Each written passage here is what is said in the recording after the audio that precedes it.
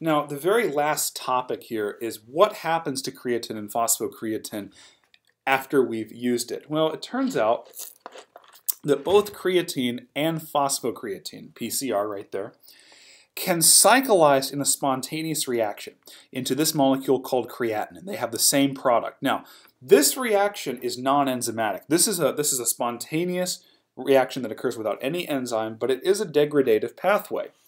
So both of these molecules can be degraded and cyclized into creatinine. Okay, now it is more spontaneous, or let's say kinetically favorable. It's more kinetically favorable for phosphocreatine to cyclize to creatinine, as we see 2.6% of those stores are cyclized per day, whereas for creatine without the phosphate, only 1.1% of those stores are cyclized into creatinine per day. But in any case, what happens to that is the creatinine is exported out of the skeletal muscle and the brain. Don't forget creatine is also used in the brain, but we don't focus on that here. Creatinine is exported into the blood where it's shunted back to the kidney and it's excreted in the urine. So creatine doesn't really have a a long, you know, degradative pathway where we can get something out of it. No, it just spontaneously cyclizes in the skeletal muscle into creatinine. It's exported into the blood, ultimately to the kidney, and eliminated in the urine.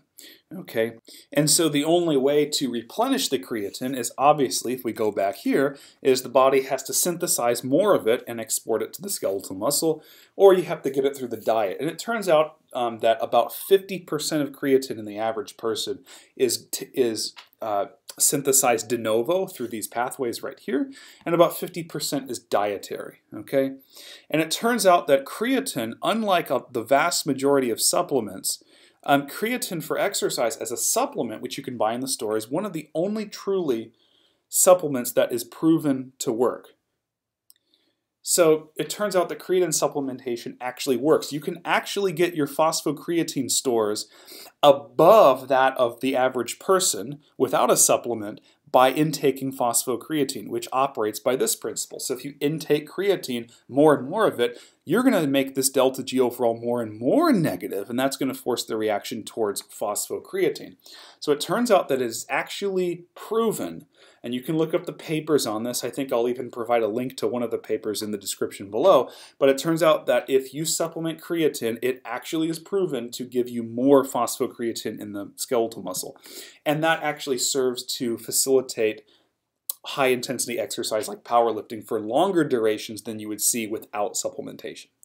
All right, make sure to like this video and subscribe to the channel for future videos and notifications.